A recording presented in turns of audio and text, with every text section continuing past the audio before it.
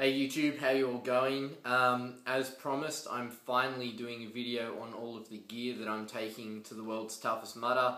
Got it all written out here so I don't forget anything. Um, gonna try and keep this as short and to the point as possible, and um, I'll run through it in a fairly logical manner. So we'll start with the base layer. Um, socks, lots of socks. Um, Teko uh, was the brand that I went with. I've got light socks, medium socks, more medium socks, hiking socks. Also got um, Injinji socks for those of you who don't aren't aware of the Injinji brand. Uh, they're toe socks, so each of your toes have a little um, kind of like gloves. Got two pairs of those as well. Um, seven pairs of those type of socks. Can never have too many socks in my opinion. Uh, also got these. Um, they're not a neoprene sock. From what I've read, neoprene obviously is designed to um, kind of trap the water and hold it against you. And obviously on your feet, that's going to lead to prawny, wet, trench foot type feet. Um, so these are a diving sock, but they're actually got like a, a, fleece material on the inside. You probably can't see that on the video, but got a pair of those as well. So um, that socks also got um, icebreaker boxer shorts, two pairs of those. Uh, I would have got more, but they're fairly expensive, so I'll probably just take my normal ones along with me as well. Um, sticking with the base layer stuff, guys. skins. These are their compression pants. They're actually designed for people who are going like snowboarding and skiing, that kind of stuff to keep them warm. Again, it's got the fleece type uh, inside, equivalent, I guess, to the Under Armour gear that a lot of the uh, you guys from America are going with. Um, obviously, compression um, type setup as well. So essentially compression pants that are meant to keep you warm. So they're from Skins. also from Skins is the same um, type of um, product, the Snow Series S400 compression gear it's called, but in the long sleeve top. Um, this stuff is size small for me. Um, obviously, it's nice to have it nice and tight to your body normal t-shirt, sometimes I'm a small, sometimes I'm a medium, but compression gear, it said small was the way to go. so what I'm basically hoping to do is wear um, that under my wetsuit if the conditions warrant it. If it's warm to start with, or warmer, um, I'll just run with the wetsuit, and then as it gets colder in the night, chuck that on as well.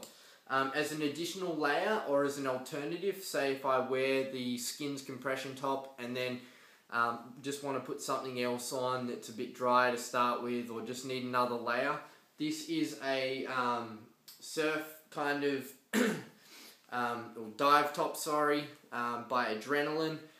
It's similar to the dive socks that I just showed you and also in ways similar to that compression gear in that it's got like a fleecy um, lining on the inside. It isn't as tight fitting to the body though, um, but it's certainly um, quite toasty inside when you put it on. uh, sticking with the um, base layer stuff, I do have a few other things that I need to pick up. I'd like to get an Under Armour Cold Gear face mask, um, primarily for earlier in the day before I maybe go to my full neoprene hood. That's kind of um, where how I'm leaning. I, I would have gotten like a two or three mil hood maybe instead, but I just can't seem to find one here in Australia. Maybe once I get um, to America, something I'll find something suitable in the shops. On top of that, um, we're gonna. I'm just gonna quickly show you the wetsuits again. You've seen them before if you've seen my other videos. This is my main suit. It's the O'Neill um, 4-3 Psycho Freak. Um, basically top of the line suit from O'Neill, full um, tape seams, everything like that, mega toasty inside. That's my main suit um, for when it's super cold. From what the weather forecast has been saying, from my like trial runs running in wetsuits, I'm actually leaning towards starting the race in my other O'Neill Psycho Freak. It's a 3-2 this one Um, still full length steamer, long arms, long legs. So I'm probably leaning towards starting the race in this just because it, it's damn hot when you're running a wetsuit. Uh, and then also that way it gives me something to change into when it does get dark or it does get colder. And that kind of thought that, oh, you know, I can change and put something that's dry, I guess, to begin with, and it's going to be warmer. Maybe it's a bit of a morale boost. These are back zip um, wetsuits if you've seen my other video, but they do have this kind of secondary layer of neoprene that keeps the water directly off your back. Also, when it is, if it is warmer, at least you can pull it down and kind of vent your back a little bit, maybe help um, stop you overheating if that ever is an issue um, early on in the day before you get too cold. okay, sticking with the kind of main layer, if you like, and the neoprene gear, we've got two pairs of neoprene gloves from O'Neill again. These are 3 mil gloves. Um, basically, they I got them cheap because I had a mate in the industry who was able to help me out with the deal.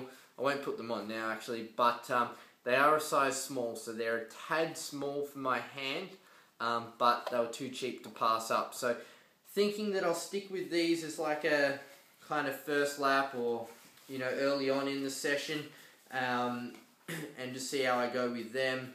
I've got two pairs of those so I can swap them out after a lap or two assuming I go that far which I hope I do. Um, you may think I'm taking a lot of gear compared to some other videos and lists I've seen but hey I'm coming from Australia I'm not doing this to do one lap and go home. Um, these are my main gloves, uh, made by Waterproof. They're a diving glove. They're five mil thick. They've got a zip here at the kind of top of the hand, which is really good for kind of helping you get your hand in and out, and also keeps them nice and tight around there once you pull the zip up. They're five mil thick right through, including the fingers, so they are not very good in terms of dexterity. I think gripping the monkey bars and stuff like that in these gloves is going to be really hard. But come like midnight, 2 a.m., I think the least of my worries is going to be the monkey bars. I'm going to be more concerned about the cold, and they should help um, keep the cold out a lot more than a 3 mil glove. this is perhaps the best hood that I have found um, anywhere, to be honest it, it's just insanely warm.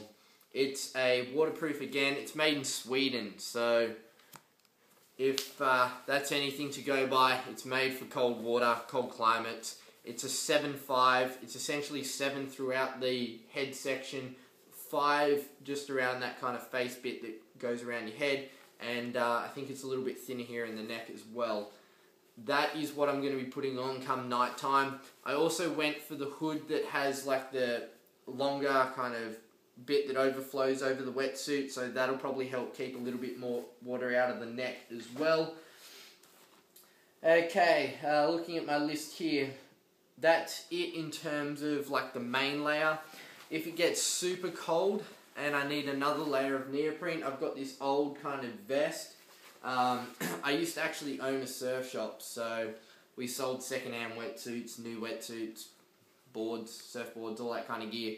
Um, and this was actually part of a steamer, um, but it was kind of I cut cut the legs off because they were only short legs, and it, it's quite good because it goes over the top of uh, your wetsuit, and it's just you know an extra two mils of neoprene if I need it.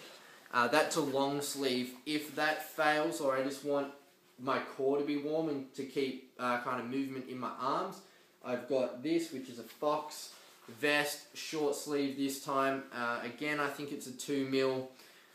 The vests are just standard neoprene, none of them are sealed, and that because they're obviously designed for Australia and when it's a little bit warmer. So that's kind of the first set of my outer gear. Also, this is a really good windbreaker jacket. Um, I went to a store here in um, in Australia. I won't share the name because yeah, they weren't exactly the best customer service. Had to do a lot of it myself. Um, just a, a, simple windbreaker jacket. It's it's pretty good though, um, and it was dirt cheap. It was like 35 bucks down from like 150. Um, that might not seem cheap to some of you guys in America because the gear on Amazon is ridiculous. Like, I love that site now. You can get so much cheap gear on there, it's insane. Uh, this is another just waterproof jacket, a little bit more lightweight, um, but still really good. So if I need, if I rip one or whatever, I need another one, I've got it there.